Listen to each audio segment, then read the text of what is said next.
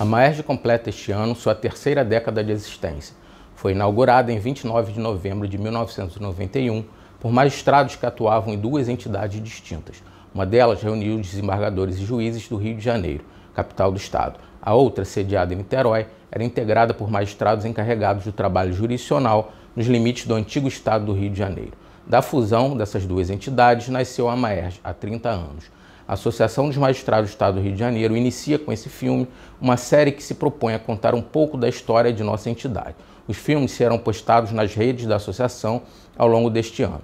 Neste primeiro capítulo, para falar sobre como surgiu a Maerj, ninguém melhor que o desembargador Tiago Ribas Filho, ex-presidente do Tribunal de Justiça. O prezado desembargador Tiago foi o primeiro presidente da Maerj no biênio 1992-1993. Vamos ouvi-lo.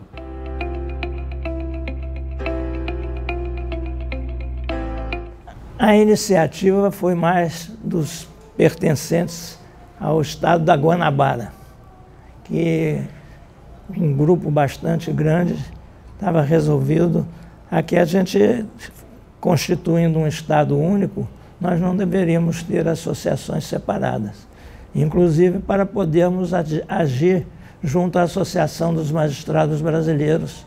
Na época, eram o presidente era o desembargador Odir Porto, de grande qualificação. Naquela época, os juizados especiais estavam sendo instalados. E essa foi uma das grandes preocupações daqui da turma do Rio de, do, da, da nossa capital. A justiça mudou bastante. As associações são importantes, porque antigamente elas agiam só isoladamente e também não tinham uma grande preocupação com o aspecto da cultura, de palestras. Então, aqui no Rio de Janeiro, nós começamos todas as segundas-feiras com palestras de colegas e de pessoas que eram até de outros estados que viviam aqui.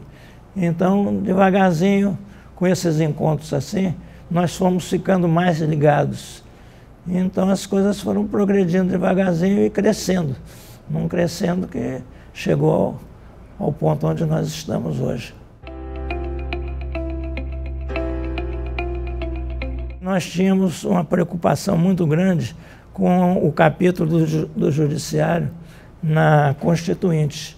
Então, de todos os estados, das associações dos estados, e também lá mesmo de Brasília, nós fizemos grupos para conversar com os deputados, os senadores, que muitos deles não, não, não, não conheciam nada a respeito do Poder Judiciário. Eu tive um senador que, quando eu procurei, disse que gostaria de falar com ele sobre o capítulo do Poder, ele disse: detesto o Poder Judiciário. Eu levei um soco na cara e digo, como detesto? Não, porque o meu antecessor, que foi governador lá no Paraná, ele sempre nos prejudicava, esse negócio todo e tal, de maneira que a gente encontrava de tudo lá. E foi muito bom, aquele trabalho foi muito bom. E valeu a pena, como não poderia deixar de ser, né? Porque a união sempre faz a força.